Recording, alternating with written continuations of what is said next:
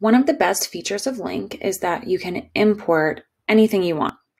And one thing that I love to do is, you know, ask and answer the questions that I'm curious about about my target language um, in LingQ. So it's very meta. I'm going to show you how to do this. Um, I'm studying French, and one of the questions that I came across as I was studying is an or année. They have two different ways of saying the word year. Um, one is an, which you see right here, and the other is année. And I don't know when to use them. So I, um, first and foremost, I, I, I made a Google search in French. So as you can see, this is a French phrase right here, which says, you know, should you say an or année? And then I added the word français to be more specific. So when you do a Google search in your target language, you're going to get results in your target language as well. And that's the point because I want to import a French article into my LingQ reader. So the first um, the first option here looks pretty legit to me. I just kind of like to peruse. It, it looks like there are a lot of options. So I'm just going to go ahead and open this one. Take a look at it.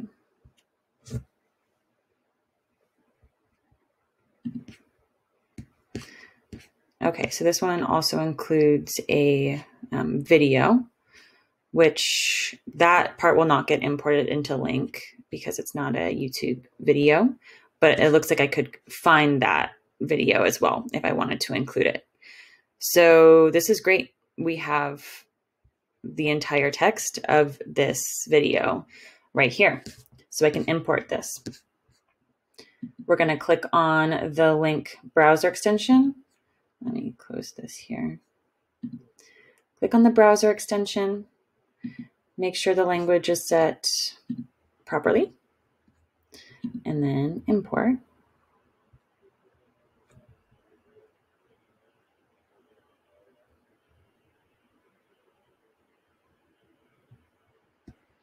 Once that's done, immediately open the lesson.